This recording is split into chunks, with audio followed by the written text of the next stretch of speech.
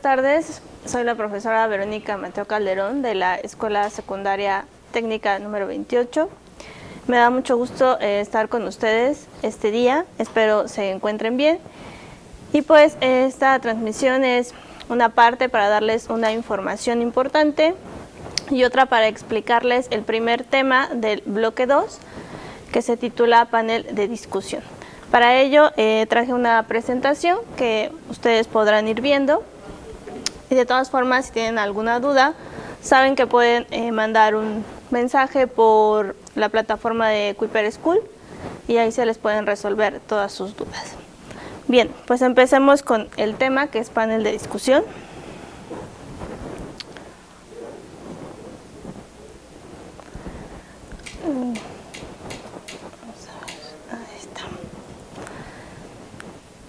Bien. Bueno, pues vamos a, antes de definir qué es nuestro panel de discusión, vamos a ver cuáles son los objetivos eh, de aprendizaje que vamos a tener. Y el primero es que, pues al concluir esta lección, tú vas a poder reconocer qué es un panel de discusión, para qué sirve o cuál es su función.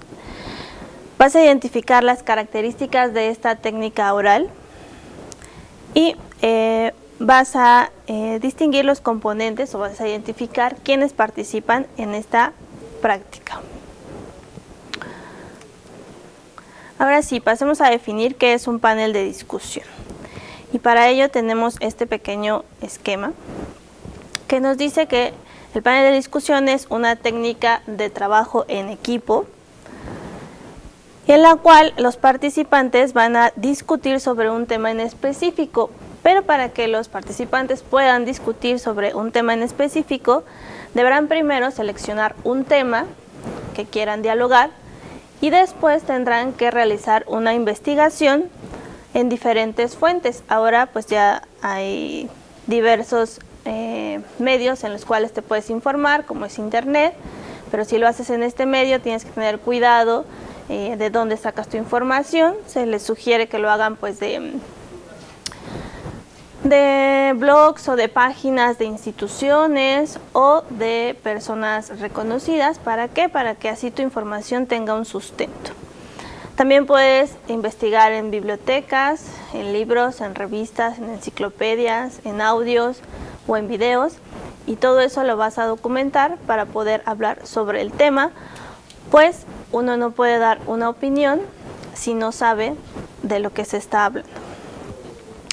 Esta discusión o, esta pequeña conversación o, puntos de vista que se van a dar lo van a hacer en una, en una audiencia o con una audiencia y cada participante va a ofrecer su punto de vista y claro, ese punto de vista va a estar sustentado en la investigación que hizo previamente.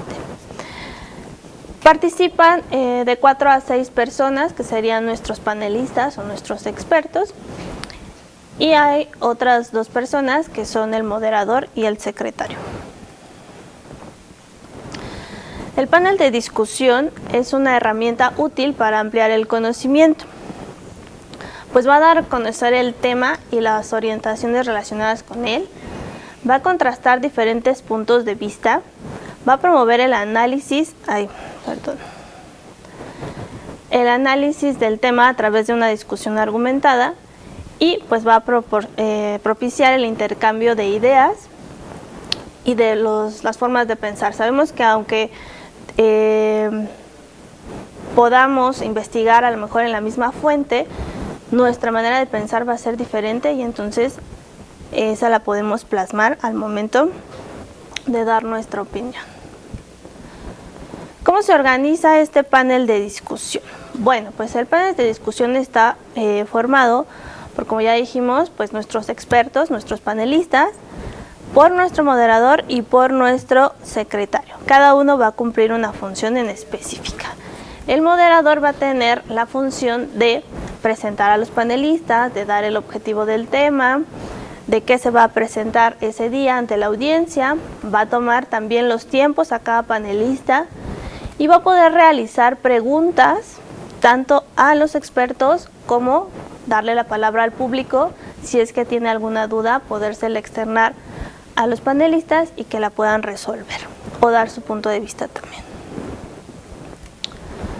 Está el secretario, el secretario va a ser el responsable de eh, estar atento a lo que pasa en ese momento, de escuchar, de anotar las aportaciones de cada uno de nuestros panelistas y va a hacer un registro de ello para que quede como, como cuenta o como evidencia de lo que ocurrió ese día.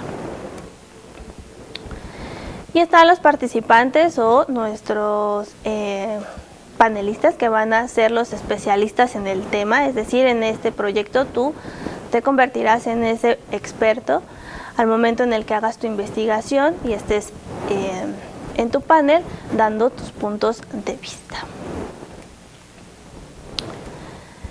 Bien, eso es a grandes rasgos ¿no? el primer tema que veríamos sobre el panel de discusión.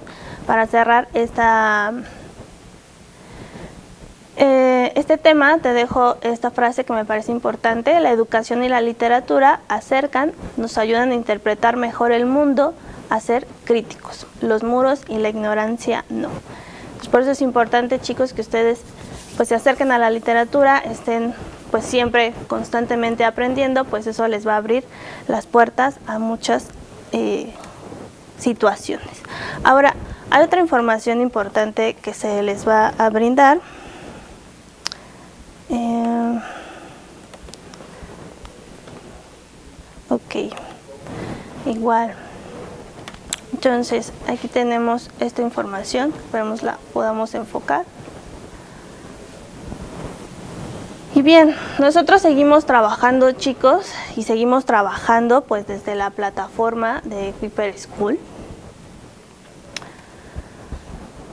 Entonces, ustedes pues van a seguir trabajando en esa plataforma, para ello deben de estar muy atentos a las fechas en las cuales los maestros dejamos eh, la actividad y en la fecha límite que ustedes tienen que entregarla.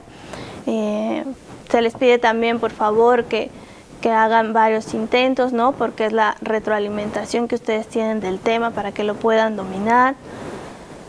Eh, que, hagan una pequeña agenda, por ejemplo, en el caso de mis terceros y segundos, tienen una agenda escolar. Entonces ahí anoten, por favor, cuándo se les deja la tarea, cuándo tienen que entregarla y qué tienen que hacer, para que ustedes así puedan seguir eh, pues aprendiendo y creciendo y pues a nosotros nos den la herramienta para seguirlos apoyando en este periodo. Bien, hay unas fechas en las que se está trabajando de manera presencial. Em, el 6 de noviembre, el lunes, se presentaron em, dos primeros, dos segundos y dos terceros, se trabajó con ellos. El día de ayer, el 7 de noviembre, se presentaron los primeros eh, grados.